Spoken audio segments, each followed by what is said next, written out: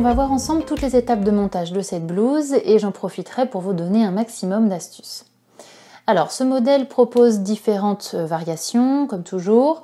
Euh, la première, donc c'est un col type smoké.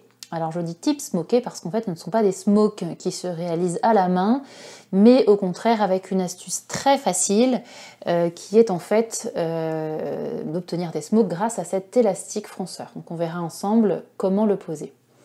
L'autre col possible, c'est un col froufrou, donc type victorien.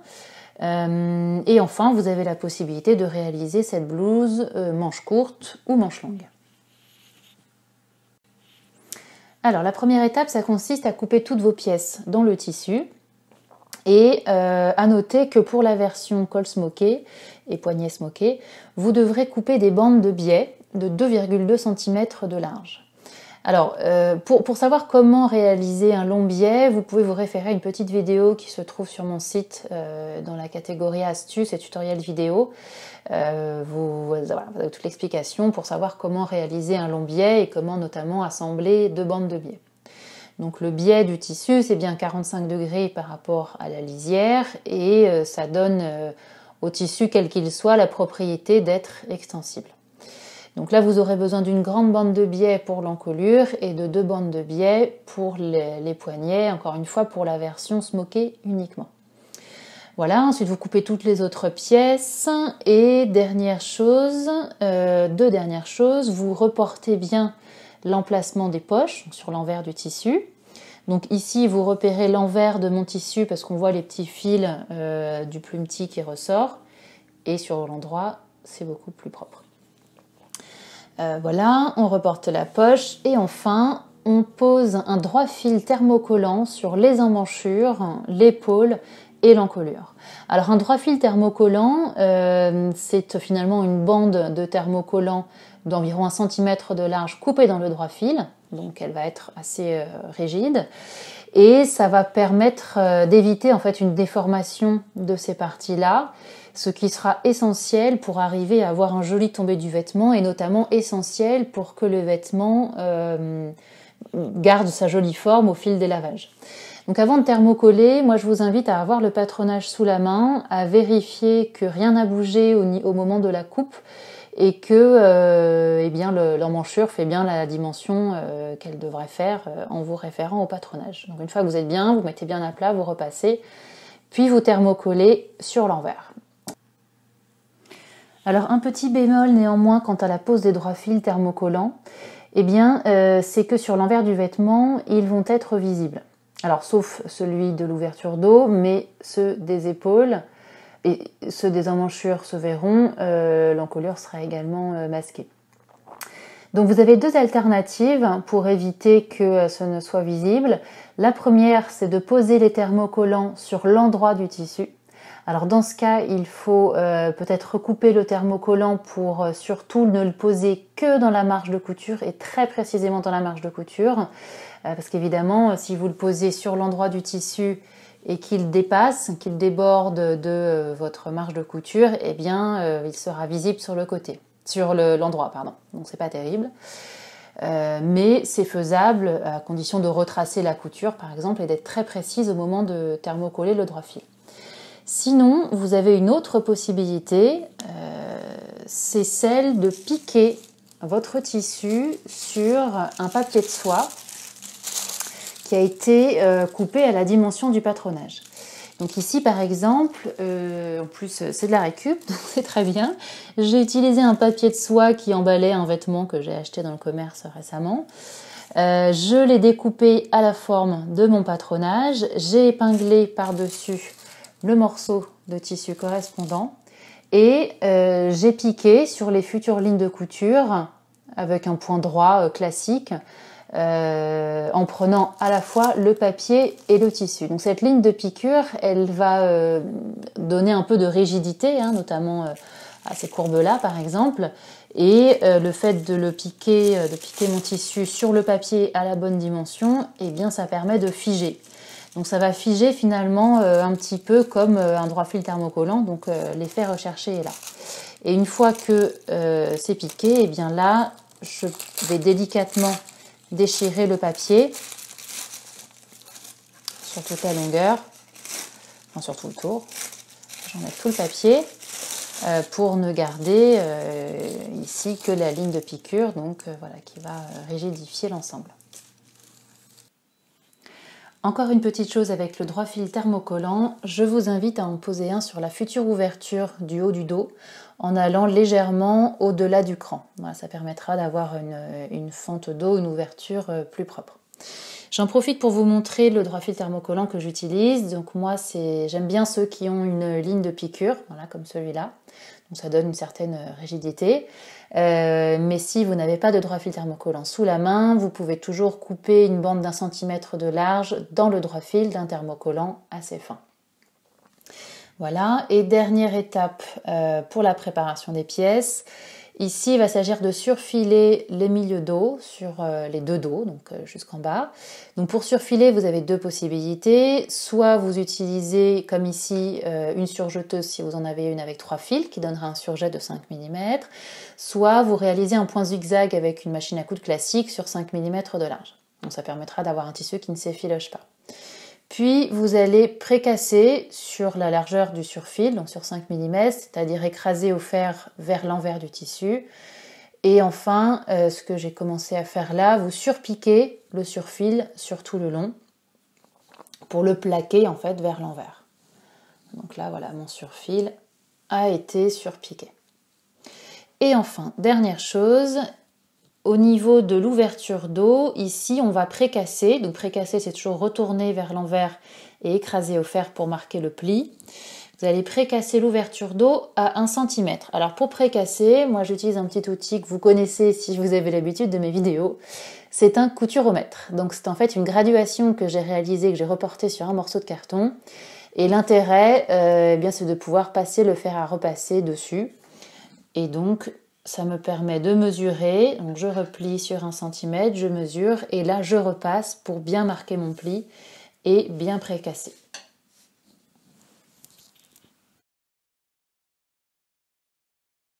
Ensuite, on va s'occuper des poches et je vais vous expliquer une petite astuce sympa pour avoir de jolis angles et éviter que les marges de couture que j'ai rabattues en dessous ne s'échappent euh, de part et d'autre. Alors, je commence par précasser tout le, tour de la poche. Donc je commence par le bas de la poche, donc cette ligne-là, et je précasse à 1,5. Donc toujours avec mon couturomètre et mon fer à repasser. J'écrase et je marque le pli au fer. Idem ici, là, sur les côtés, hop, voilà. Et sur le haut, j'ai un ourlet qui fait deux fois 1,5. Donc tout a été marqué au fer. Maintenant, je vais m'intéresser aux deux angles du bas et je vais l'un après l'autre, donc je déplie. Euh, je vais plier le long du pli du bas. Je vais mettre dans ce sens-là. Donc je plie comme ça. Et là, je vois bien, je peux d'ailleurs euh, réécrire par-dessus, je vois bien ici le pli euh, du côté. Voilà, je peux même l'identifier le marquer sur l'endroit et sur l'envers, puisque c'est ce pli qui va m'intéresser. Une fois qu'il est marqué, je retourne cette fois-ci vers l'envers de la poche selon le pli du bas. Je plie sur le pli du bas et je vais superposer mes deux marquages. Donc là, je superpose en fait les deux parties du pli du côté qui se trouve être ici. Je vais mettre une épingle pour vous montrer. Voilà, elles sont bien superposées. Et je vais piquer ici pour prendre en fait l'angle en fourreau. Donc c'est ce que j'ai déjà fait là. je déplie pour vous montrer. J'ai piqué, on voit mes quelques points. Et une fois que je retourne, eh bien l'angle se forme parfaitement et la marge de couture est prise dans la couture donc elle ne risque pas de s'échapper. Donc je fais exactement pareil sur l'autre angle. Donc voilà, je commence par marquer, par identifier avec, euh, là j'ai pris un friction pen. Alors c'est pas mal les friction pen parce que ça s'efface avec la chaleur du fer à repasser. Donc si jamais on est sur l'endroit, euh, on n'a pas peur que ça se voit, ça partira. Voilà, j'identifie bien le positionnement de mon pli du côté. Je plie selon le marquage du pli du bas. Et je superpose mes deux marquages. Et ensuite, je piquerai précisément là où j'ai positionné l'épingle. Et dernière chose maintenant, pour prendre en fourreau le haut, alors cette fois-ci, je laisse l'un des deux plis euh, replié vers l'envers et sur mon deuxième pli, je plie là, euh, endroit contre endroit. Et ici, c'est encore plus simple. Je vais piquer à ce niveau-là pour là aussi prendre en fourreau mon angle.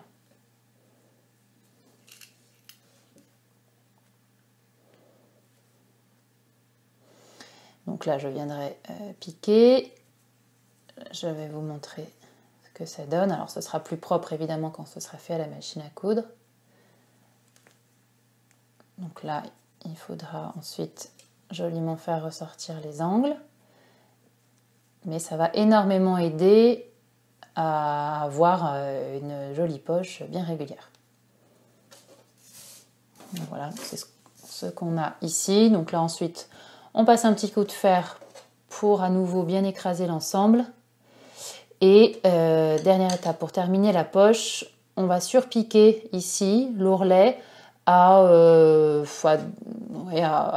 à, 2 mm du bord de l'ourlet, donc à 1,3 mm du haut de la poche. Maintenant que l'ourlet des poches a été bien surpiqué, euh, on va les positionner, les épingler tout d'abord sur l'endroit du devant. Donc j'en ai déjà positionné une que j'ai d'ailleurs euh, surpiquée. Donc on la fixe à l'aide d'une surpiqûre nervure, c'est-à-dire à 2 mm euh, du bord environ. Et là, sur le haut, moi je réalise toujours un petit triangle euh, de, comment, pour solidifier l'ouverture de la poche. Donc première chose, on va voir comment repérer le positionnement de la poche puisqu'il a été réalisé, le marquage a été réalisé sur l'envers. Mais pour cela, j'utilise un poinçon. Donc c'est ça, c'est une petite pointe métallique. Et euh, je ne vais pas... Euh, alors un poinçon, ça va me permettre de faire un, trou, qui va être visible sur le devant. Euh, mais je ne vais pas le faire exactement sur le marquage, puisque sinon il serait visible, hein, puisque le marquage correspond vraiment au bord de la poche. Je vais faire un trou légèrement à l'intérieur de ce marquage, à peu près à 5 mm de chacun des quatre angles. Et là, là j'ai déjà fait, hop, je, plante euh, mon poinçon et je réalise un petit trou. Donc je fais ce petit trou à l'intérieur 5 mm sur chaque angle.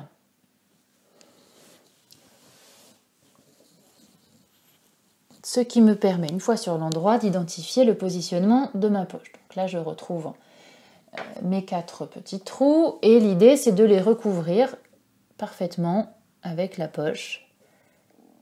Hop. Voilà, je vérifie que je les recouvre d'autant partout.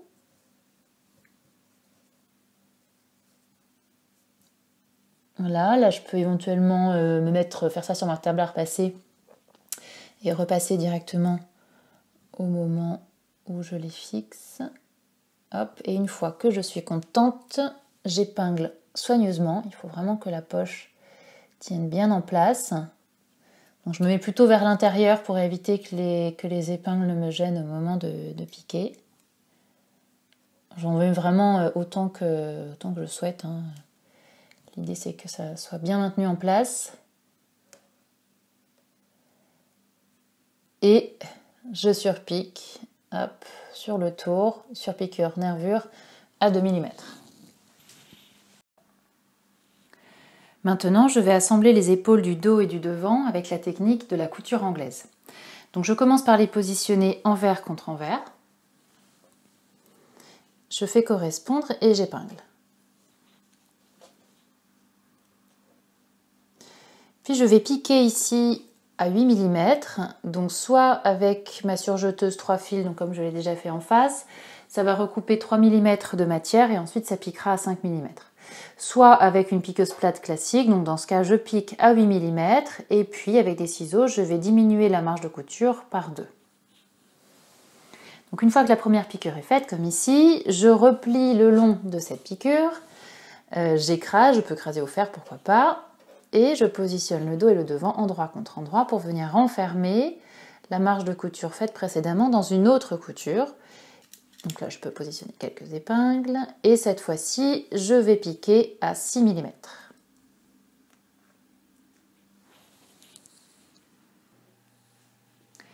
Une fois que les coutures anglaises sont terminées, au fer, je les plaque vers le dos. Et maintenant, je vais passer à la réalisation du col, qu'il s'agisse d'un col froufrou ou d'un col smoké.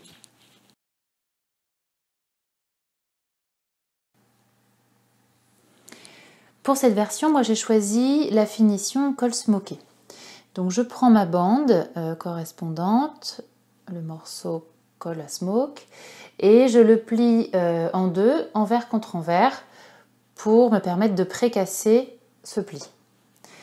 Puis maintenant, je vais couper euh, un morceau d'élastique fronceur à la bonne dimension, donc à la dimension de l'encolure. Euh, pour ça, je peux me référer au tableau des, fournitures qui se trouvent euh, soit sur le PDF à la première page, soit au début, à l'arrière, pardon, au dos de la pochette. donc j'ai mon élastique fronceur, je commence par tirer un peu dessus pour lui donner sa dimension définitive. Puis je le mesure. Et je coupe ce qu'il me faut.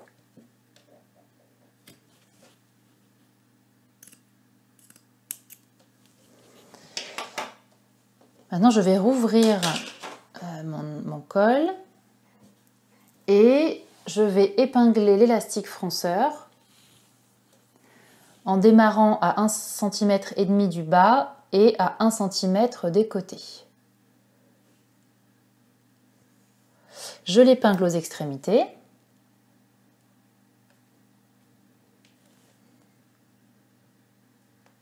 Donc là, pour le, pour le placer au début, bon, je fais un petit peu comme je peux. C'est pas toujours très simple, euh, mais je vais très vite le piquer pour euh, me permettre de le fixer. Donc je l'ai épinglé ici.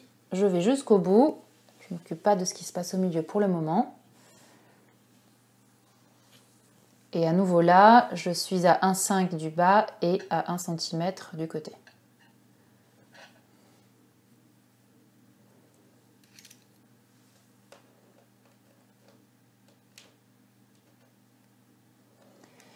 Et maintenant, pour euh, le fixer, eh bien, je vais piquer à 1,5 du bord euh, du tissu à chaque extrémité. Puis une fois que les extrémités d'élastique sont piquées, eh j'ai étiré l'ensemble et hop, donc là c'est pas évident évident, mais je repère le milieu d'élastique que j'épingle avec le milieu du col et euh, comme ça bah, je peux positionner plusieurs épingles, au moins une euh, à chaque quart enfin tous les quarts d'élastique. Donc là, une autre ici et enfin une autre là. Et maintenant, je vais piquer euh, l'élastique en place. Donc il doit toujours être sur toute la longueur à 1,5 cm du bord. Et je vais réaliser ma première piqûre ici, dans l'interstice des deux élastiques blancs tout en étirant euh, l'élastique de façon à ce qu'il soit à la même longueur que le tissu. Donc là, je pique dans cette ligne-là, cet interstice-là, jusqu'en bas, et je répète cette opération six fois. Donc je vais piquer une, deux, trois, quatre, cinq, six lignes de piqûre. Et si j'ai un excédent d'élastique, comme c'est le cas ici, eh bien tout simplement je le recouperai pour éviter que les smokes ne soient euh, sur une largeur trop importante. Donc voilà, j'ai piqué mes six lignes euh, sur l'élastique fronceur. Euh, alors la première piqûre, c'est vrai, est un peu difficile à faire puisqu'il faut arriver à être régulier vraiment par rapport à, cette distance de 1 cm du bord. Et ensuite, une fois que la première piqûre est faite, euh, ça va tout seul pour le reste. Donc ça c'est bon. Euh, là, donc je vais recouper le dernier élastique puisque je veux pas que mon smoke soit non plus trop large. Donc je le recoupe.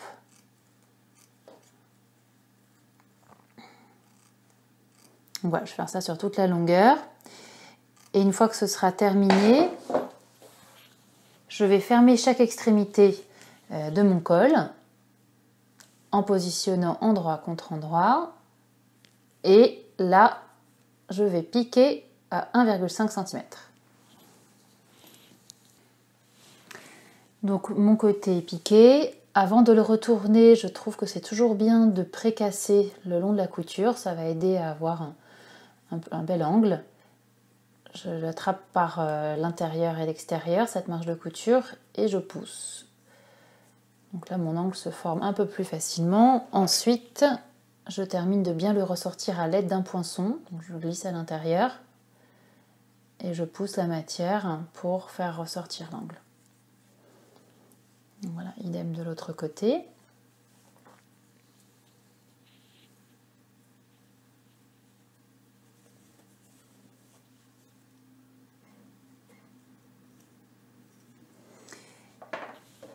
Et maintenant, un petit peu comme tout à l'heure, je vais épingler euh, sur toute la longueur, à chaque quart environ, pour répartir l'élastique, puisque maintenant je vais surpiquer en prenant toutes les épaisseurs du col. Donc là, je vais soigneusement euh, épingler, réétirer l'élastique plusieurs fois pour vérifier que ça ne vrille pas. Je positionne pas mal d'épingles. Et ensuite, je vais pouvoir surpiquer par-dessus euh, chacune des six lignes de piqûre que j'ai faites précédemment, de façon à prendre toutes mes épaisseurs du col. Ensuite, j'ai prolongé chacun des trois crans euh, du bas du col sur 1 cm de longueur j'ai là. Euh, puis j'ai réduit cette marge de couture de 5 mm. Donc maintenant il ne me reste plus qu'un cm entre la première piqûre et l'extrémité du col. Maintenant je vais positionner euh, le col sur l'encolure, endroit contre endroit. Alors l'endroit du col, euh, c'est plutôt le côté où il n'y a qu'une seule piqûre, puisque de l'autre, c'était euh, mes deux assemblages de l'élastique fronceur. Donc là, ce sera mon endroit. Donc là, je retrouve mes crans et je les fais correspondre avec l'écran de l'encolure.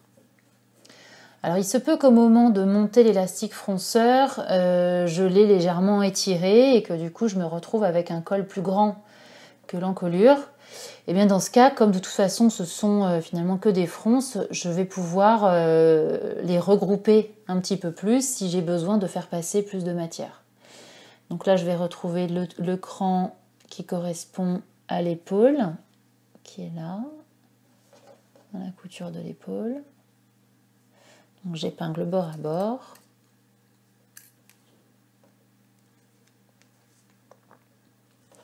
Et sur le dos, je vais jusqu'au cran qui correspond à l'endroit où j'ai précassé l'ouverture d'eau.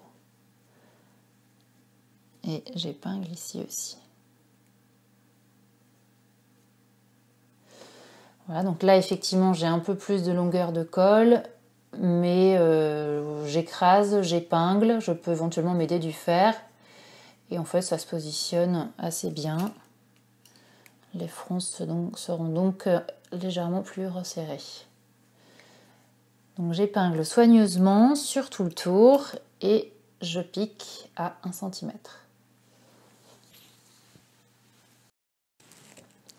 Puis une fois que mon col est assemblé, je réduis cette marge de couture de moitié. Donc je me retrouvais plus qu'avec 5 mm de marge de couture.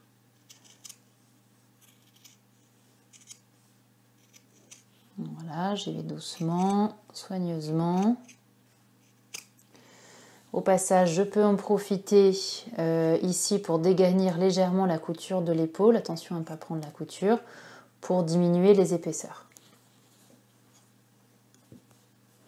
Donc je fais attention aussi en coupant à ne pas recouper euh, ce qui se passe de l'autre côté. Donc je coupe uniquement cette marge de couture de moitié et sur tout le long.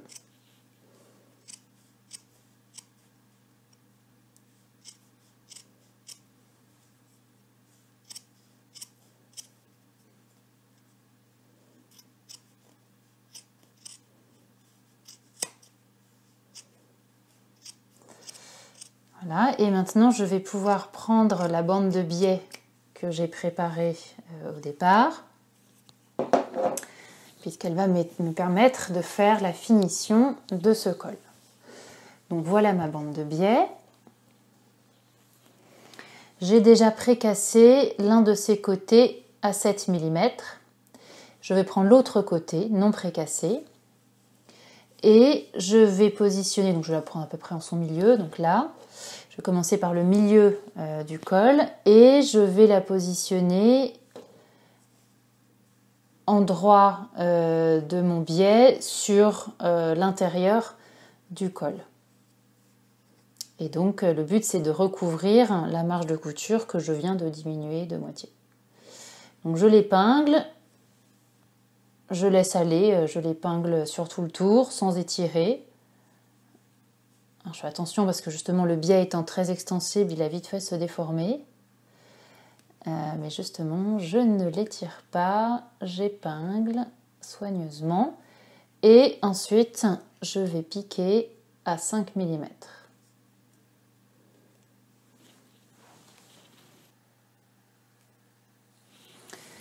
Une fois que mon biais est piqué à 5 mm, je le recoupe ici à chaque extrémité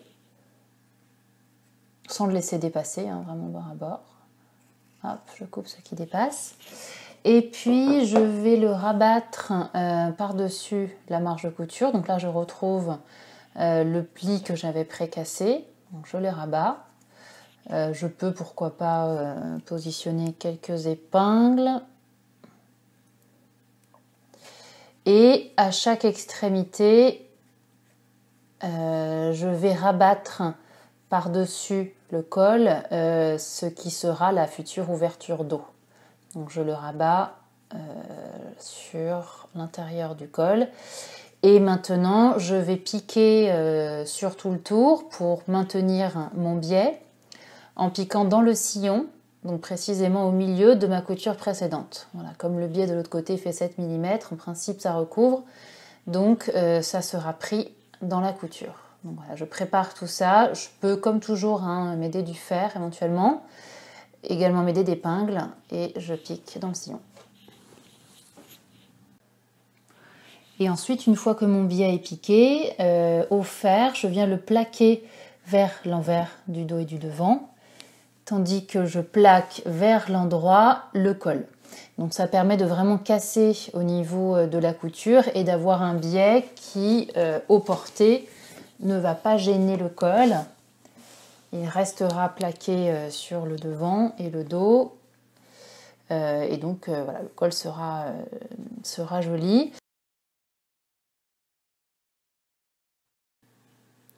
Pour réaliser un col froufrou, je commence par préparer ces différentes pièces. Alors, j'ai ici deux pieds de colle et le froufrou de colle. Alors, je vais commencer par le froufrou.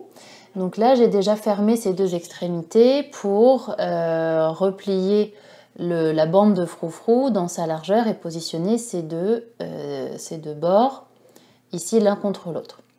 Donc j'ai commencé par plier endroit contre endroit, j'ai piqué chacune des extrémités à 1,5, puis j'ai retourné le froufrou pour l'avoir envers contre envers, avec ces deux longues bordures bien bord à bord ici. Et puis dans la marge de couture euh, qui est de 1,5 cm, j'ai piqué deux fils de fronce parallèles. Pour le moment, je ne fronce pas. J'ai ensuite préparé mes deux pieds de colle. Donc le pied de colle qui se retrouvera euh, sur la blouse sur le dessus, sur, euh, sur l'endroit, a été thermocollé. Sur le pied de colle qui n'est pas thermocollé, j'ai précassé ici euh, sur 1 cm de large. Et puis ce pli, je l'ai piqué en place à 6 ou 7 mm. Maintenant, je vais prendre l'un des deux pieds de colle, peu importe, et sur son endroit, je vais épingler le froufrou. Donc je commence par faire correspondre ces crans.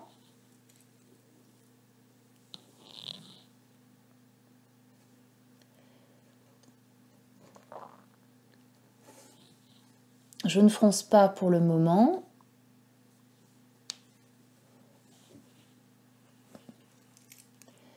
Et je m'arrête à 1,5 de chaque extrémité. Donc ici, je vais jusqu'au cran euh, de mon pied de colle.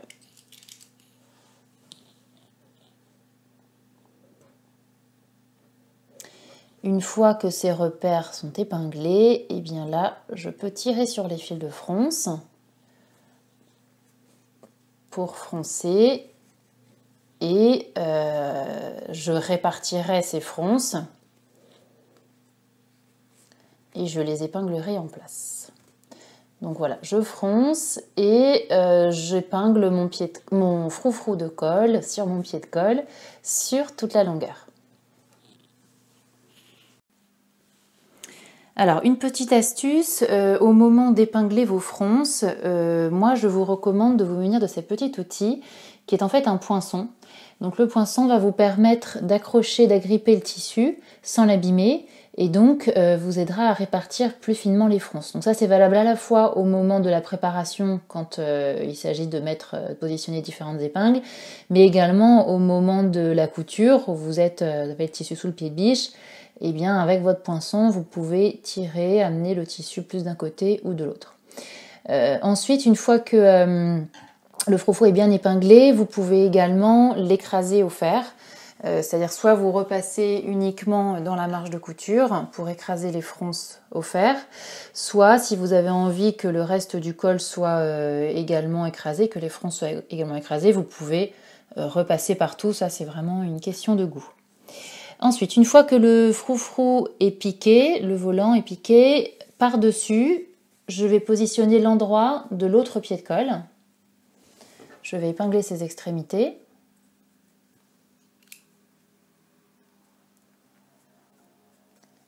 dans les angles, euh, là j'ai en principe la même longueur de pied de colle, donc il n'y a pas de surprise. Mais je peux toujours positionner un petit peu plus d'épingles pour m'aider. Voilà, là je retrouve mon cran du milieu.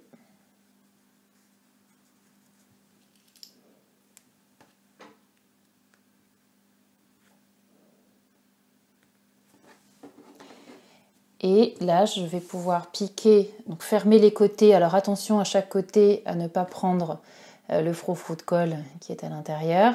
Je pique à un 5 euh, sur ce côté-là, le grand côté et l'autre petit côté pour terminer. Ensuite, je pourrais dégager les angles et retourner sur l'endroit. Donc mon col froufrou est terminé, je l'ai repassé, voilà, tout tombe bien. Ici, je vais bien jusqu'au bord, c'est bien aligné. Maintenant, je vais épingler le côté non précassé, son endroit sur l'endroit euh, du dos et du devant, enfin de, l'encolure. Donc je fais correspondre l'écran.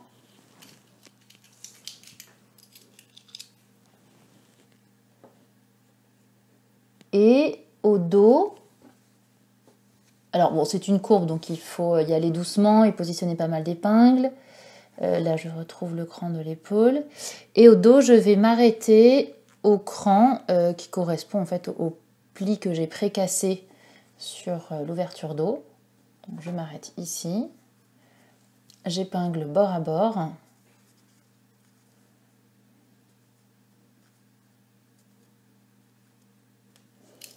Voilà, sur tout le tour, hein, je vais rajouter pas mal d'épingles, euh, bien simplement parce que s'agissant d'une courbe, euh, il faut vraiment que je m'assure que euh, tout, soit bien, bien, en place avant de piquer.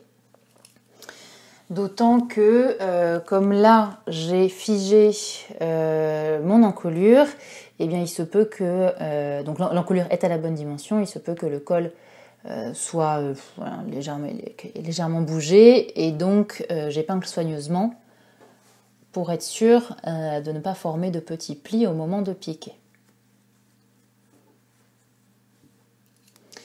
Je vais continuer cet épinglage sur tout le tour et je voulais vous montrer ici au niveau de l'ouverture d'eau. Eh bien je vais replier pour le coup endroit contre endroit par-dessus euh, le col que je viens d'épingler. Je positionne également une épingle et une fois que tout sera prêt sur tout le long, je vais piquer 1 cm sur tout le tour. Une fois que l'épinglage a bien été fait soigneusement, je pique à 1 cm, donc ce que j'ai déjà fait ici. Et euh, j'attire votre attention sur l'ouverture d'eau. Ici, j'ai laissé mon ouverture d'eau repliée selon le pli que j'avais précassé et j'ai piqué toutes les épaisseurs euh, ensemble. Maintenant, je vais passer euh, mon col par-dessus cette marge de couture que je viens de créer et je vais légèrement chevaucher la couture précédente. Donc je dois la masquer.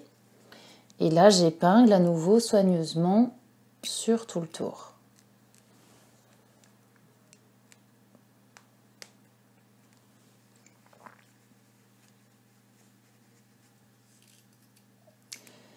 Une fois que euh, j'aurai réalisé le bon épinglage, je me mets en droit du vêtement vers moi et ici euh, je surpique à 2 mm euh, du bas du pied de colle côté pied de colle. Donc voilà, ma surpiqûre a été faite à 2 mm ici, donc mon col est maintenant terminé, je peux passer à la suite.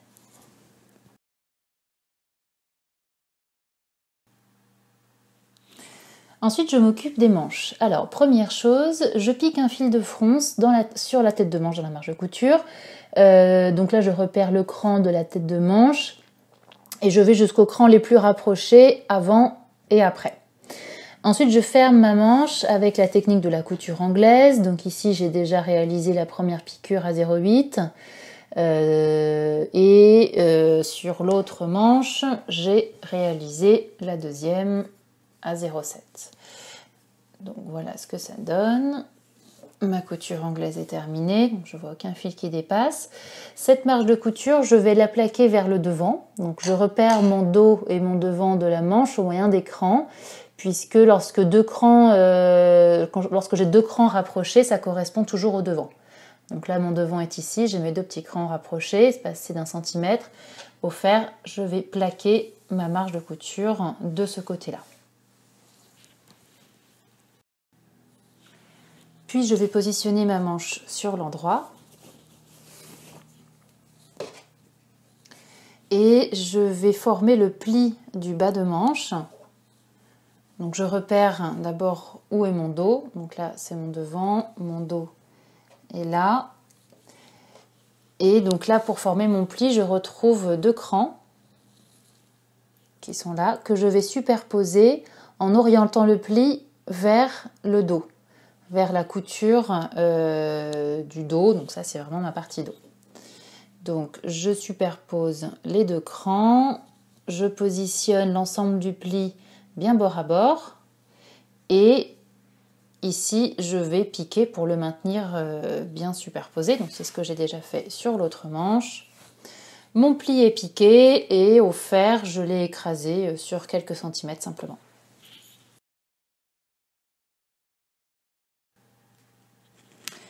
Pour le poignet smoké, ce sera à peu de choses près euh, comme l'encolure. Donc je commence par précasser le pli du milieu. Donc je plie euh, envers contre envers et je précasse au milieu de mon poignet. Ensuite, j'ai coupé euh, ma bande d'élastique fronceur à la dimension voulue. Donc toujours pareil, je me réfère à mon tableau de fourniture. Et je l'épingle à 1,5 cm du bord, du bas et à 1 cm de chacun des côtés. Donc là pour le moment, je laisse aller, j'épingle et je vais fixer l'élastique fronceur en piquant sur chaque côté, à chacune de ces extrémités, à 1,5. Une fois que les extrémités sont piquées, je l'épingle, donc je tire et je l'épingle à plusieurs endroits euh, de façon à bien le répartir sur tout le morceau de tissu. J'épingle ici et euh, là je peux positionner un peu plus d'épingle. Donc il doit être toujours à 1,5 cm du bord sur toute la longueur.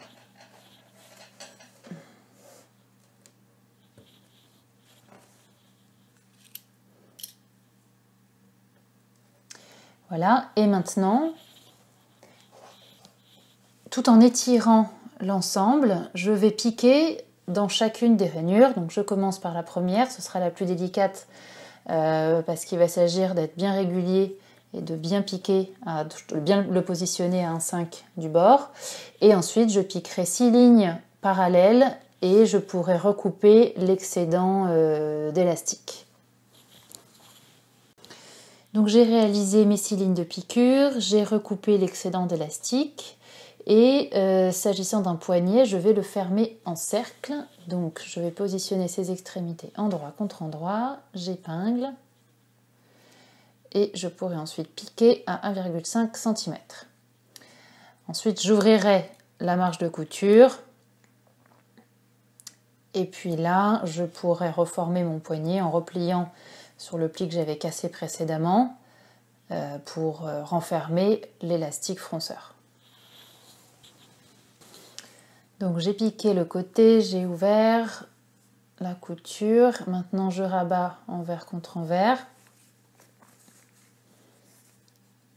Je positionne bord à bord et j'épingle. Euh, donc en étirant l'élastique pour faire correspondre les longueurs. Il ne faut pas que ça vrille. Et je positionne plusieurs épingles.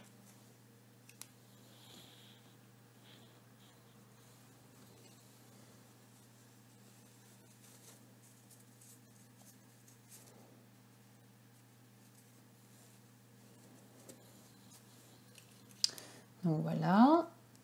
Et maintenant, je vais donc bien garder euh, mes deux épaisseurs bord à bord. Et je vais pouvoir surpiquer par-dessus chacune des lignes de piqûre euh, qui m'a permis d'assembler l'élastique fronceur euh, sur une épaisseur du poignet. Je repique sur ces six lignes de façon à tout prendre avec mes surpiqûres. Voilà, mes six surpiqûres sont faites, donc j'ai pris toutes les épaisseurs. Maintenant, euh, là, j'ai prolongé mon cran sur 1 cm de longueur et je vais réduire la marge de couture de 5 mm. Sur tout le tour. Maintenant, je vais pouvoir épingler l'endroit de mon poignet sur l'endroit de la manche. Alors l'endroit de mon poignet, c'est le côté où je n'ai euh, j'ai une surpiqûre simple, euh, qui est donc là. Et je fais correspondre le cran avec euh, le, pli du bas de manche et la couture du, du poignet avec la couture de côté de la manche. J'épingle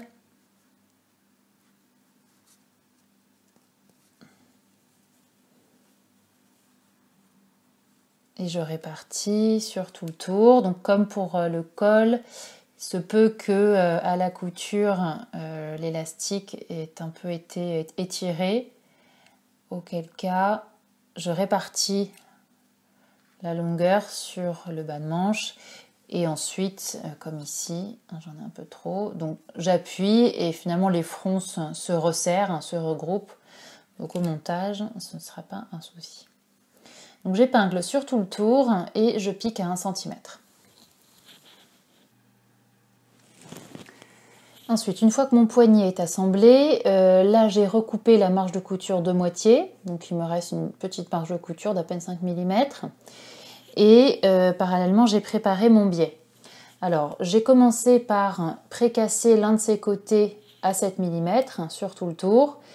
Et euh, ce biais, je l'ai coupé à la longueur euh, nécessaire pour l'élastique fronceur plus 2 cm. Je l'ai assemblé euh, sur ces deux extrémités à 1 cm, j'ai ouvert la couture au fer et maintenant je vais pouvoir positionner le côté non précassé, l'endroit du biais non précassé sur l'envers du poignet.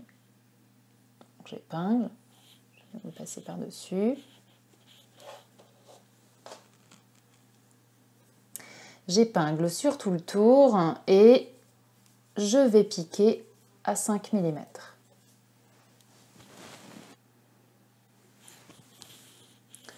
Voilà, alors le biais est piqué. Maintenant, je vais le rabattre selon le pli euh, que j'avais précassé. Je le rabats vers l'intérieur. Éventuellement, j'épingle.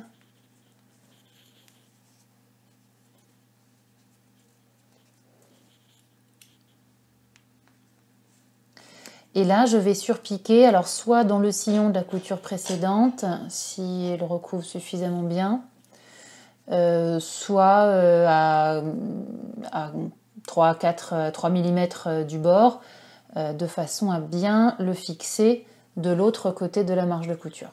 Donc là, je le rabats et je pique à quelques millimètres pour prendre toutes les épaisseurs. Mon poignet est maintenant terminé, la marge de couture se positionne toute seule vers la manche, euh, donc euh, c'est parfait. Maintenant je vais pouvoir passer à l'assemblage du corps et des manches.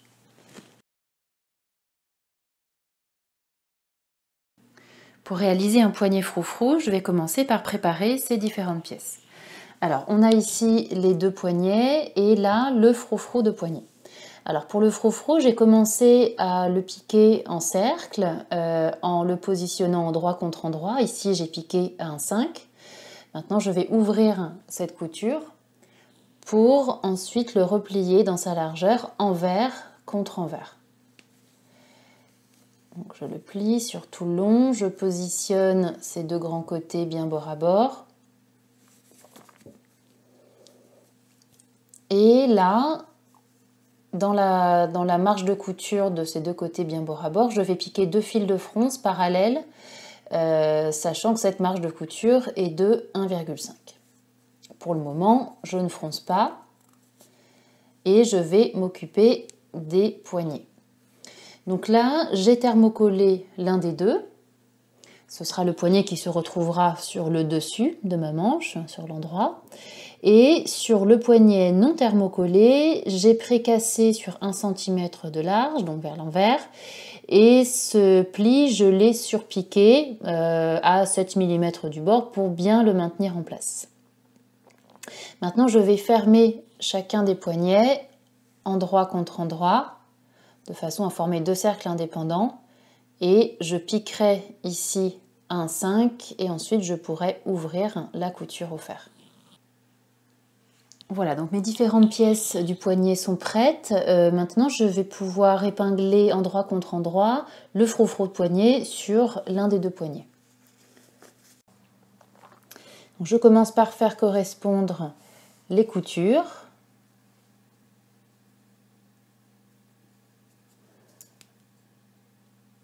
Puis le cran du milieu. Il est là.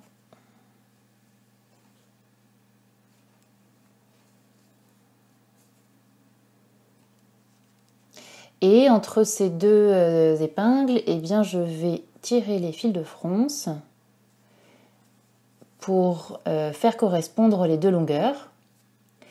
Et là, donc euh, petit à petit, en fronçant, eh bien, je vais répartir mes fronces sur toute la longueur et réaliser un bon épinglage. Alors toujours la même petite astuce pour bien répartir les fronces, à la fois au moment d'épingler et également euh, une fois euh, sous le pied de biche. Je peux utiliser cet outil qui est un poinçon qui va agripper le tissu sans l'abîmer et donc qui va m'aider à répartir finement les fronces. Donc là, après avoir fait un bon épinglage, j'ai piqué euh, mon froufrou en place. Voilà. Et maintenant par-dessus, en prenant le froufrou en sandwich, je vais positionner l'endroit de l'autre poignet. Donc là aussi, je fais correspondre la couture et le cran du milieu.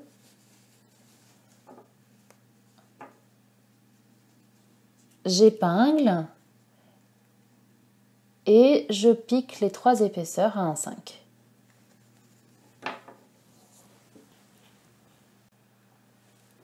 Et maintenant, je vais pouvoir assembler mon poignet sur mon bas de manche. Donc je vais commencer par assembler euh, le côté qui n'est pas précassé et je vais le positionner endroit contre endroit sur le bas de manche. Alors là, j'ai quelques crans à faire correspondre ainsi que la couture de côté euh, qui est là. Donc je positionne quelques épingles sur ces différents repères. Et puis je piquerai à 1 cm.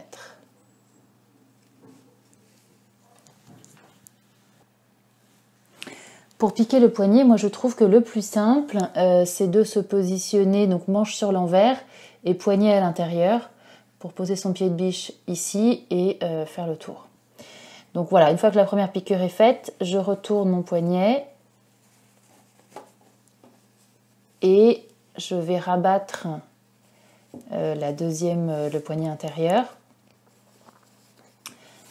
Par-dessus la marge de couture que je viens de réaliser précédemment. Et je, je, rentre tout à l'intérieur, je fais chevaucher très légèrement le poignet intérieur sur la couture que je viens de faire, j'épingle.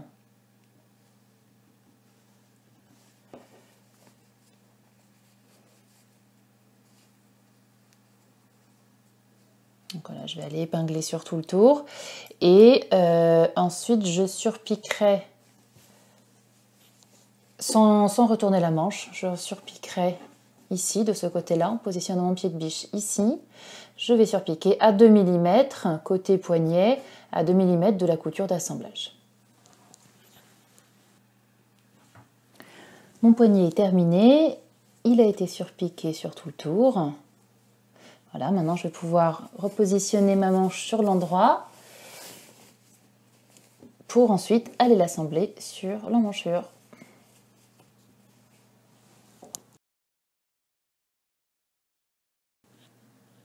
Si vous avez choisi de réaliser la blouse en version manche courte, euh, eh bien c'est encore plus simple puisque vous vous affranchissez de l'étape de finition du bas de manche. Euh, et là, pour terminer euh, la, manche courte, vous réalisez un ourlet avec un double rentré de 7 mm, exactement comme l'ourlet que vous allez réaliser au bas de la blouse. Ensuite, tout le montage de la manche est identique à la fois la couture anglaise sur le côté et euh, l'assemblage de la manche sur l'emmanchure.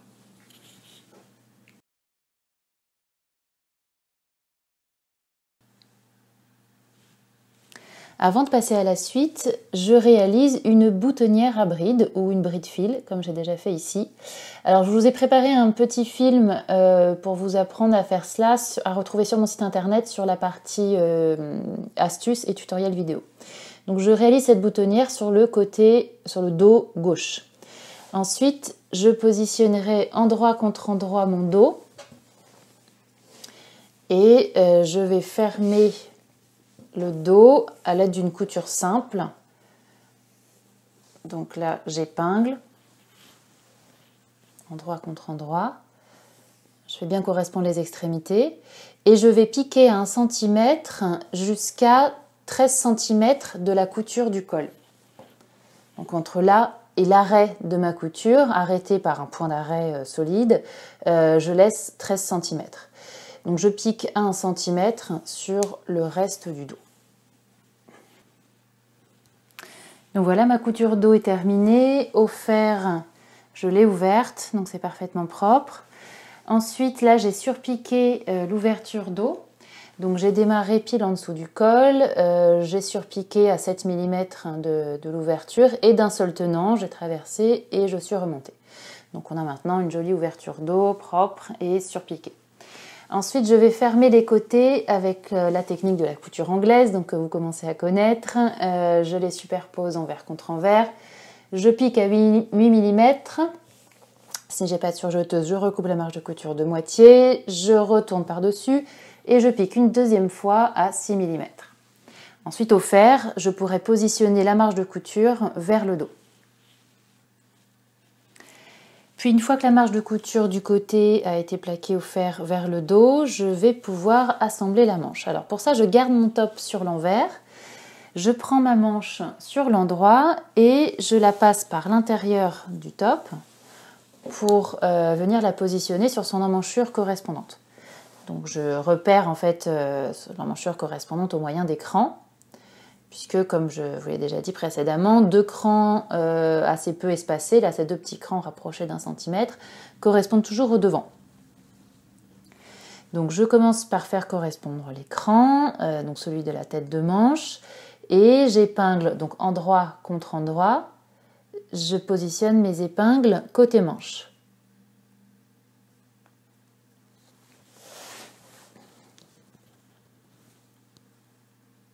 Pour le moment, euh, je ne tire pas sur les fils de fronce, donc ceux que j'ai passés dans la tête de manche. Euh, mais ensuite, je vais faire correspondre les longueurs, puisque ces fils de fronce vont m'aider non pas à froncer, euh, mais à faire passer l'embu. Donc l'embu, c'est le fait que dans deux lignes, enfin deux longueurs qui s'assemblent, l'une soit plus longue que l'autre. Et donc cette longueur supplémentaire, il va falloir la faire passer comme embu euh, sans créer de fronce. Donc là j'épingle mes coutures de côté avec les marges de couture euh, des coutures anglaises qui vont chacune d'un côté différent. Donc là je retrouve mes deux petits crans du devant.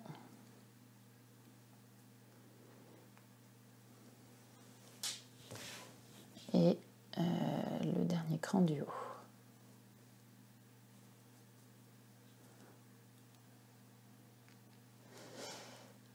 Maintenant, je vais pouvoir légèrement tirer sur le fil de fronce pour faire correspondre les longueurs. Là, on voit bien que euh, mon embu est là, donc j'ai plus de longueur sur le, haut de la tête de manche. C'est normal, c'est pour euh, aussi donner un bel arrondi à la tête de manche et que le tombé soit joli sur l'épaule. Donc là, il y a assez peu d'embus, mais néanmoins d'un tissu à l'autre, ça va pas toujours être très facile. Euh, mais donc euh, voilà, il faut s'entraîner. Euh, ici, il y a 0,6 d'embus de part et d'autre du cran de la tête de manche, donc c'est vraiment pas beaucoup. Au principe, ça passe bien. Donc voilà ce qu'il faut arriver à obtenir, une sorte de vague au niveau de la manche qui ne va pas créer de plis au moment du montage. Donc là, lorsque j'ai ça, là je suis assez bien à plat. Je vais pouvoir positionner pas mal d'épingles, hein, d'épingles pardon, autant que je souhaite.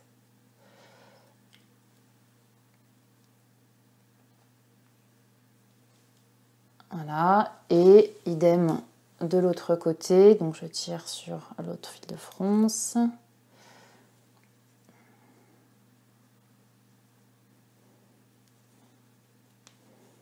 Voilà, là pareil, ça passe assez bien hop, je mets des épingles. Ensuite, sur le reste de la manche, je n'ai pas d'embu, donc euh, pas de surprise. Il se peut en revanche que euh, le, tissu de la manche, tient comme ici, se soit légèrement déformé.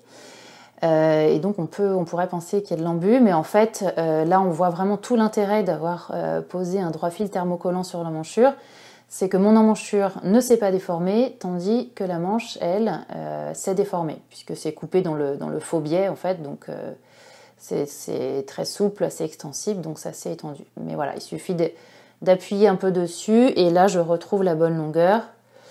Euh, donc si je n'avais pas collé ce droit fil thermocollant sur l'emmanchure, ben, clairement, là, j'aurais déjà eu une déformation de mon emmanchure avant même de piquer. Voilà, donc là j'ai bien épinglé sur tout le tour. Je vais maintenant piquer un centimètre. C'est ce que j'ai déjà fait de l'autre côté. Donc la manche a été assemblée. Euh, là, donc, euh, bon, là, c'est un peu twisté, mais sinon, je n'ai pas de fronce, donc l'embu est bien passé. Et ensuite, pour terminer cette marge de couture euh, proprement, vous avez deux solutions. Soit vous piquez un surfil, comme ici, euh, à la surjeteuse, soit vous bordez la couture, donc c'est-à-dire vous la recouvrez d'un biais, mais alors aussi fin que possible pour, pas ne, pour ne pas rajouter d'épaisseur à ce niveau-là. Les manches sont maintenant assemblées. Euh, il ne me reste plus que deux petites finitions. La première, c'est la couture du bouton en regard de la boutonnière. Donc les deux parties du dos doivent arriver euh, parfaitement bord à bord. Voilà. Et la dernière, c'est la réalisation de l'ourlet du bas du vêtement. Donc ici, moi j'ai commencé par surfiler pour deux raisons. La première, c'est que j'ai un tissu qui s'effiloche pas mal. La deuxième, c'est que ça me ça, surfile à 5 mm. je trouve que c'est assez pratique dans la mesure où là je dois précasser à 7. Euh, ça me donne d'emblée euh, la largeur sur laquelle précasser. Sinon, vous pouvez toujours utiliser euh, votre couture au mètre, hein, comme d'habitude, pour précasser à 7 mm. Voilà, donc j'ai précassé une première fois, soit on précasse une deuxième fois à 7 mm, soit directement sous le, pied de biche. on replie une deuxième fois et on surpique à 5 mm.